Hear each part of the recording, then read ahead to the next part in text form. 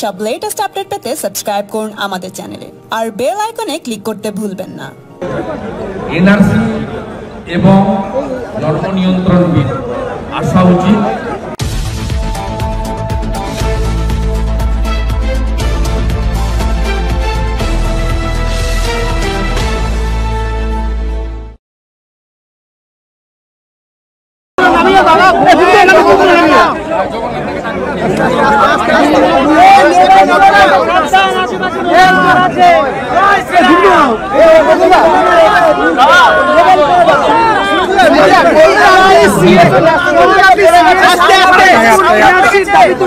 দল এখন অনুমোদন আপনি তুলছেন আমাদের হয়ে গেছে আমাদের। আর আমি একজন রাষ্ট্রবাদী, দায়িত্বশীল নাগরিক হিসেবে, জনপ্রতিনিধি হিসেবে মনে করি সময়ের এনআরসি এবং জন্ম নিয়ন্ত্রণ উচিত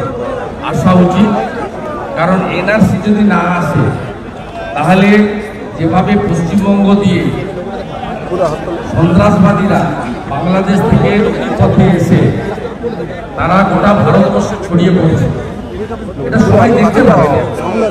এটা কোনো সম্প্রদায়, কোনো ধর্মের বিষয় নয়। এটা হচ্ছে দেশের মাটি তো বাড়ছে না।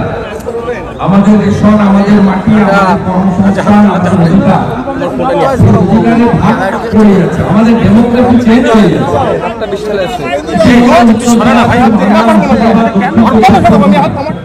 আপনারা দেখেছেন ডেমোগ্রাফি চেঞ্জ হয়ে যাচ্ছে এরপরে নদিয়া এবং উত্তর চব্বিশ পরগনা এখানেও এই বিপদের আশঙ্কা আছে তাই যারা দেশের নাগরিক ধর্মীয় কারণে বাংলাদেশ থেকে এখানে এসেছেন বেঁচে থাকার জন্য তাদের স্বার্থে এটা করা উচিত বলে প্রত্যেকটা দেশেই নাগরিক পুঞ্জি আছে নিজেদের এটা এই আমাদের দেশেও চালু এবং বিশেষ করে বর্ডার স্টেট যেগুলো আছে জম্মু কাশ্মীর পাঞ্জাব পশ্চিমবঙ্গ আসাম এখানে এটাকে প্রথম কার্যকর করা হয় বাংলার ক্ষেত্রে তো এটা খুবই প্রয়োজন। সুদীপ্ত সেন যেটা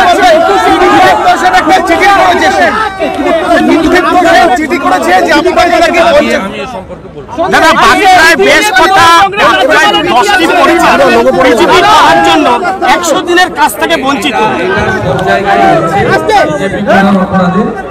এটা করে আটকাতে পারবে না। আটকাতে পারবে না। বিজেপি কি করে তার অধিকার আদায় করতে হবে একশো দিনের কাজ বলুন আজকে মিছিল করছে তোলামূল পার্টি। এর আগে বলতো একশো দিনের কাজ আমরা দিচ্ছি। দিদি বলুন পিসি বলুন তারাই দিচ্ছে।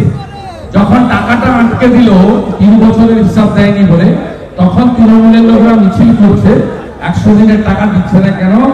মোদী সরকার জবাব মানুষ জানতে পারছে যে এগুলো দিল্লি থেকে আসতো। যে এটা রাজ্য সরকার দেয় তৃণমূল কংগ্রেস পার্টি দেয় তার পরিচালিত সরকার ঠিক আছে। দাদা কালকে জিটিএ নির্বাচন! কালকে জিটিএ নির্বাচন তার সঙ্গে শিলিগুড়িতে ভোট।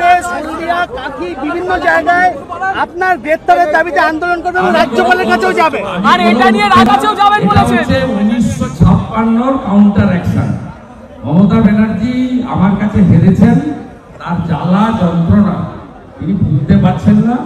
তিনি কোম্পানির মালিক তার কর্মচারীদের বলছে এগুলো করার জন্য তাই কর্মচারীরা করছে।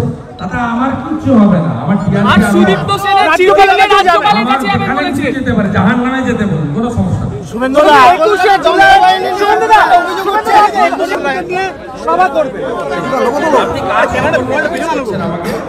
অভিষেক বন্দ্যোপাধ্যায় আমি ওর প্রশ্নের উত্তর দেবো আচ্ছা বলছি একটা পরে পার্টি শুভেন্দুদা অসমে রোজ তৃণমূলকে হাল্লা করছে নির্বাচন।